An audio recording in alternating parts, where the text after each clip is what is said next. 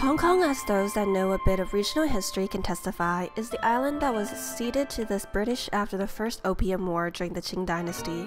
What we commonly dub Hong Kong actually comprises more than the island of its namesake. In fact, the SAR includes Kowloon and the New Territories, and it is off the latter that we find most of the territory's outlying islands. Little known about 263 islands are peppering the waters at the mouth of the Pearl River. Many of these isles are mere rocks, or due to poor transport links, remain largely underdeveloped. Some, however, easily accessible via ferry and offer a taste of tradition and nature mostly lost in the high-rise forests of Central and Kowloon.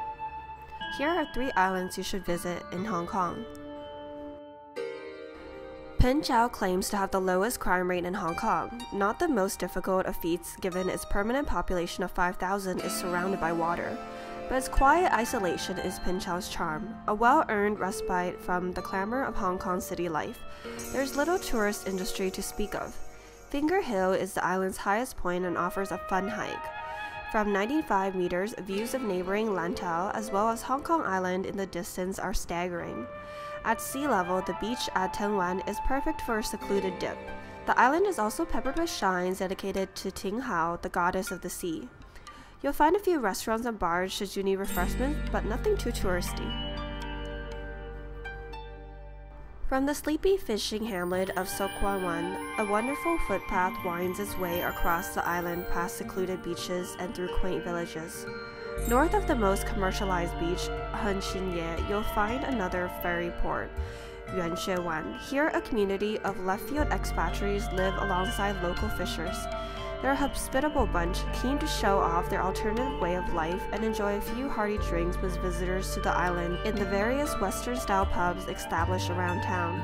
Veggie restaurants and shops are aplenty, making Yung Shue Wan a magnet for those eagerly escaping the mercantile madness in places like Mongkok.